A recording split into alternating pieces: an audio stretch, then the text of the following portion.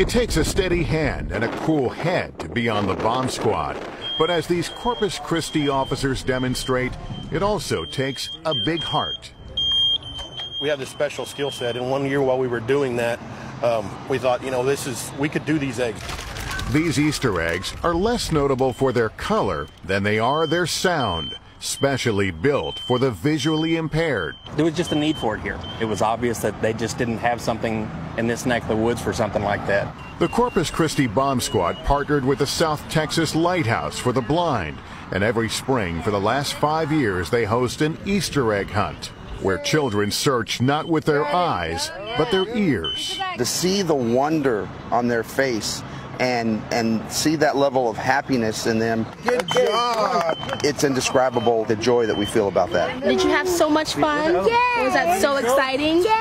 It warms the hearts of parents like Taylor and Justin, seeing their five-year-old daughter Brooklyn enjoy her very first Easter egg hunt. It's super hard to talk about it without getting emotional because it's sometimes you think about it and you think that it's not fair to give individuals like herself a chance to participate. It it just means so much to us. The Easter egg hunt, a rite of spring for so many kids, now enjoyed both in sight and sound. When I go home tonight, I have four kids. Today, I had 40.